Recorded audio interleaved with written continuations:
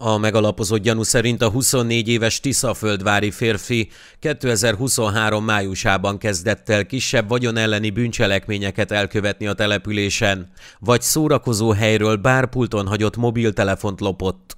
Emelve a tétet, következett két lakóingatlan, amelyekbe este tört be, azonban mindkét esetben megzavarta a sértett és elmenekült. Végül a legsúlyosabb tettére is sor került, amikor lopási céllal bejutott egy 80 éves férfi házába.